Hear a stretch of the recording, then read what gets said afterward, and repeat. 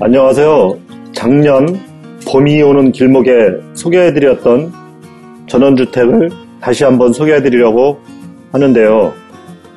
푸른 물빛이 일렁이던 저수지가 지금은 겨울에 흰 눈을 품고 꽁꽁 얼어있는 풍경입니다. 눈 쌓인 농촌이 또 다른 겨울의 그림을 보여주는군요.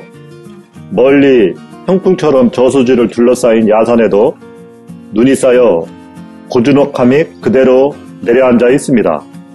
그 안으로 드넓은 평야와 마을 집들이 어울려 있는 전형적인 농촌 마을의 풍경입니다. 한가로운 들판에 마을을 구성하는 주택들이 서로 적당한 거리를 두고 점점이 앉아 있어 때로는 의지하며 때로는 독자적으로 삶의 거리를 조절할 수 있는 환경입니다. 이제 집으로 가까이 접근해 보겠습니다. 집이 앉아 있는 마당이 넓습니다. 일전에 내린 눈이 아직 흔적을 남기고 있네요.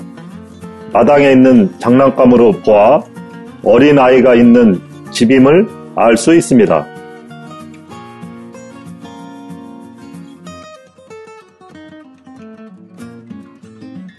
마당에서 둘러본 산과 저수지가 멋진 수묵화 같습니다.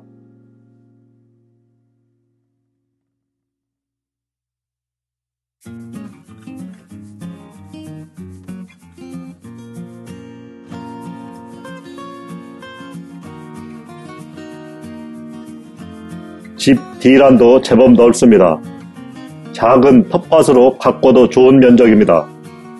입구의 널찍한 데크를 지나 주택 내부로 들어가 보겠습니다.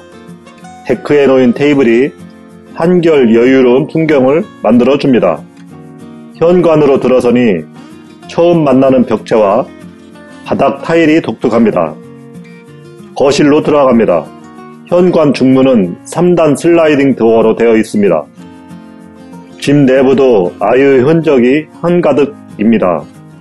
아이가 자고 있어서 내부 전등 일부는 켜지 않았습니다. 중문으로 바로 들어서면 오른쪽에 안방이 있습니다.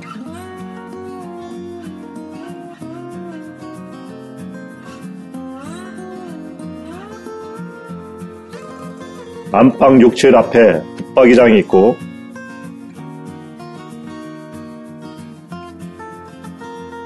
욕실은 심플합니다.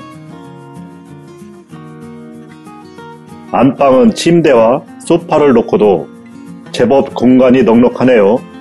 현관과 마주보는 미닫이 문을 열면 그 안은 세탁실 겸 다용도실입니다.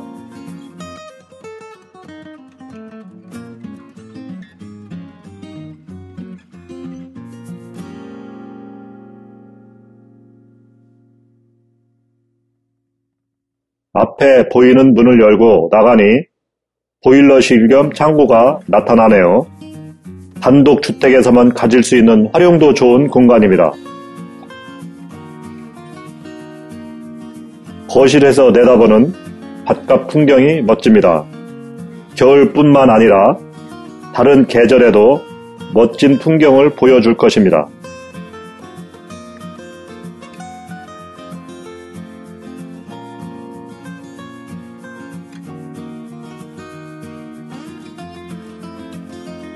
맞은편의 주방은 기역자형 구조입니다. 공간이 넓으니 수납장도 많군요. 가열 기구는 인덕션 레인지를 설치했네요.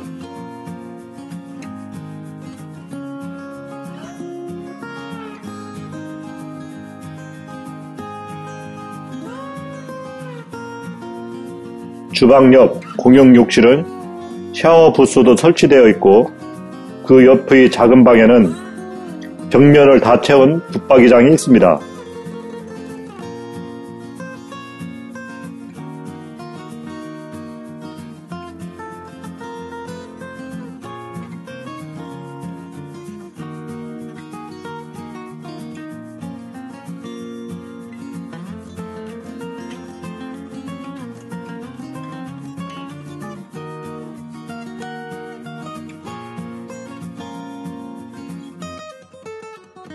책들로 보아 아이 방인 듯 합니다.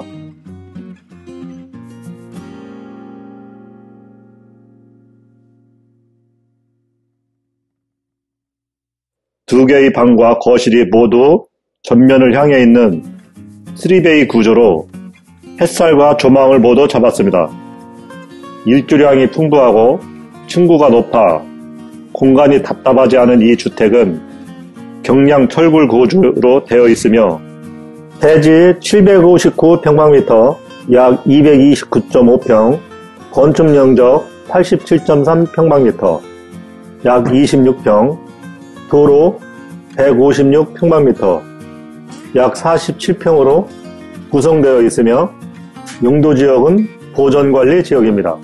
주변 및 교통 여건을 개략적으로 살펴보면 시내버스 정류장은 바로 인근에 있으며 장군 면사무소, 초등학교가 있는 면소재지는 차량으로 10분 정도 거리에 있습니다. 홍성군청, 터미널, 역 등이 있는 홍성 시내, 충남도청이 있는 내포 신도시가 모두 10분에서 20분 정도에 도달 가능한 이 주택은 매매가는 2억 5천만 원입니다. 혹시 좀 더 넓은 농지가 필요하다면 옆에 있는 밭을 추가로 매입할 수 있습니다. 한적하면서도 외롭지 않은 곳으로 귀촌을 생각하시거나 주말주택 겸 농장으로 이용하면서 여유롭게 휴식을 취하고 싶은 분들에게 적극 추천합니다. 고맙습니다.